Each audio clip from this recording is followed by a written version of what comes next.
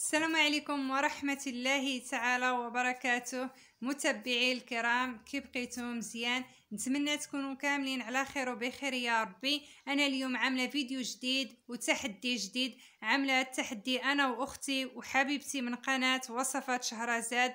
قناة اللي هي رائعة بزاف ومتنوعة فيها أفكار ووصفات فيها كل ما كيهم المرأة.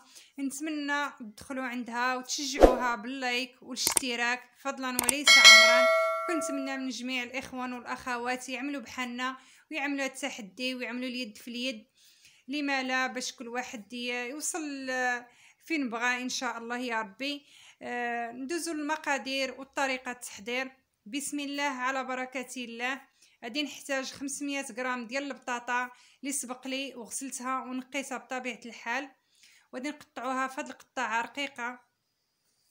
كنقطعوها دوائر آه، على شكل شيبس تكون رقيقة.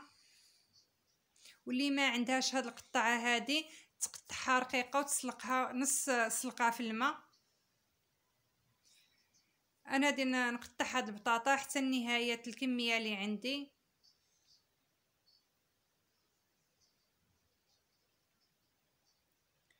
والبطاطا دائما كتبقى حسب أفراد العائلة. ممكن تكثروا ممكن تقلوا أنا عندي هاد المول كبير هز ليا نص كيلو أو 500 غرام ديال البطاطا. من بعد ما انتهيت من الكمية غادي ندوز المقادير ديال التوابل. عندي معلقة ديال الملحة والملحة دائما حسب الذوق معلقة ديال الإبزار ومعلقه كبيرة ديال الزعتر اللي كتعطي واحد المذاق رائع بزاف لهذا الكغاطان هذا. والقليل من الحار آه، أنا عندي هذا الحار ديال الدار آه، حار بزاف عملت منه القليل جدا. وأنتم كيبقى لكم الاختيار. كنلبس هاد التوابل في هاد البطاطا هادي كنحركها جيدا. حتى تتلبس بالتوابل هاد البطاطا. من بعد كنقادها على المول اللي غادي ندخلها به الفرن وكنجيب كأس ديال الحليب. صدقوني هاد الكغاطان كيجي لذيذ ورائع بزاف. كنصب هاد الكأس ديال الحليب على هاد البطاطا هادي. وكنقاد آه، هاد البطاطا. وكنجيب آه، الورق آه، الفرن.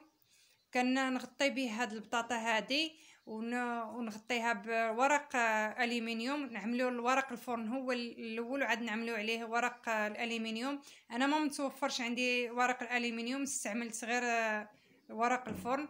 كندخلها الفرن على 15 دقيقة. الفرن 250 درجة. 15 دقيقة من بعد ندوزو المقادير والحشوة اللي غادي نستعملو في هاد البطاطا.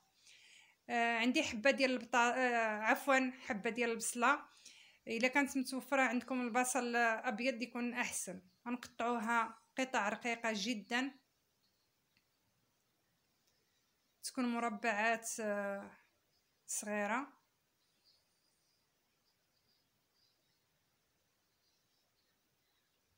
من بعد ما نقطعوا هاد البصلة نجيبوا واحد المقلاة ودي نعملوها على النار. ودي نصبوا فيها هاد البصلة هادي. ودي نشحروها جيدا بواحد جوج ديال المعالق ديال الزيت أو ثلاثة. زيت المائدة دائما أنا كنشحر البصلة بزيت المائدة. زيت الزيتون كتحرق لنا ملي كتنشحروا بها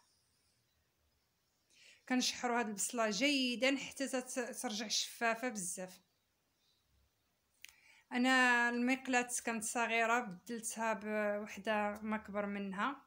جبت واحد العلبة ديال الفطر أو الشامبينيو اللي غسلتها من هذيك المواد الحافظة وسقطرتها من هذيك الماء وزدتها على هاد البصل. وغادي نشحرها جيدا. حتى تياخذوا واحد اللون بني وكيرجع هذا شفاف البصل والفطر.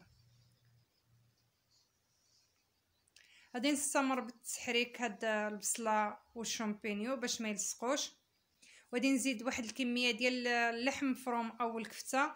أنا عندي 250 غرام. وأنتم لكم الاختيار. كنحركها جيدا.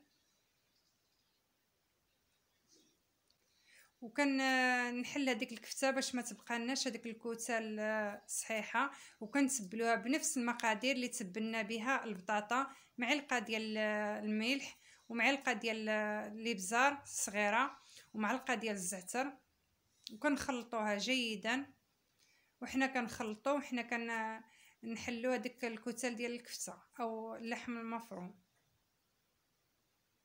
صدقوني كيجي واحد الكغاطان اللي لذيذ ورائع بزاف واللي ما كيبغيش آه، صلصة البيشاميل كاينين الناس بزاف اللي ما كيبغيوهاش. هذه بدون صلصة بيشاميل كتجي واحد الكغاطان اللي رائع ولذيذ بزاف وكيستحق التجربة. ونتمنى آه، تجربوه وتردوا عليا الخبر. من بعد ما تشحرت هاد الكفتة وهاد البصلة غادي نخرجوا البطاطا من الفرن. كيف ما كتلاحظوا معايا طايبة وجايه زبده رائعة بزاف. كنصبوا فوق منها هاد الحشوة هادي. وصفة سهلة وسريعة ما كتاخذش منا واحد الوقت اللي كثير الوقوف في المطبخ. في آخر لحظة كنوجدوا واحد الغديوة أو عشاء اللي كيكون مشبع ورائع بزاف ولذيذ. غنفرقوها بواحد الشكل يكون متساوي. هاد الحشوة هادي. وغادي نقادوها بسباتيلا أو المعلقه ديال الخشب باش تاخذ واحد الشكل يكون متقاد ومتساوي. وعندي واحد الكمية ديال الفرماج أحمر والفرماج موتزاريلا اللي سبق لي وحكيتهم. فرماج موتزاريلا والفرماج الأحمر كيعطي واحد المذاق وكيتواتاو مع بعضياتهم. غنساويهم جيدا هاد المقادير نبسط الوجه ديالها باش تاخذ واحد الشكل متساوي. وغادي نصب عليه هاد الفرماج. والفرماج يكون كتير شي شوية. نسخاو يدينا مع هاد الفرماج. غادي نعمر الفراغات كاملين الوجه ديال آه، الكغاطان ديالي. وصدقوني كيجي واحد آه، الكغاطان اللي لذيذ ورائع بزاف. وغادي نعمل على الوجه ديالو واحد الرشة ديال الزعتر اللي كتعطي واحد الذوق زوين لهاد الكغاطان ما فيهش آه، المقادير ديال التوابل بزاف متبلينو غير بالملحة والبزار والقليل من الزعتر اللي كيعطي واحد المذاق اللي زوين ورائع لهاد الكغاطان كندخلهم للفرن واحد 15 دقيقة أو 10 دقائق ما تياخذوش معنا واحد الوقت اللي طويل بزاف. من بعد ما خدات واحد اللون ذهبي رائع بزاف غادي نخرجوها من الفرن ونقدموها على هذا الشكل هذا. هذا هو التحدي اللي كان اليوم ما بيني وبين قناة وصفات آه، شهرزاد لواحد الإنسانة طيبة بزاف وخلوقة وخا نعيا ما نشكرها ما نعطيهاش حقها. نتمنى تدخلوا عندها وتخلي لها لايك واشتراك وإلى فيديو آخر إن شاء الله ونتمنى ما نكونش طولت عليكم.